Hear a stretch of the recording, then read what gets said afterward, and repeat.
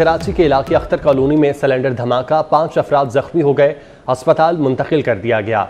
कराची का इलाका है अख्तर कॉलोनी, जहाँ पर सिलेंडर धमाका हुआ है, पाँच अफराद शदीद जख्मी हो गए हैं। रेस्क्यू टीमों को मौके पर तलब किया गया। रेस्क्यू की जानब से जख्मियों को इब्तदाई तिबी इमदाद दी गई, जिसके बाद जख्मियों को अस्पताल मुंतकिल कर दिया गया है।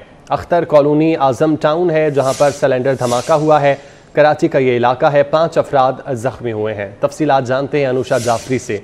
बताइएगा अनुषा।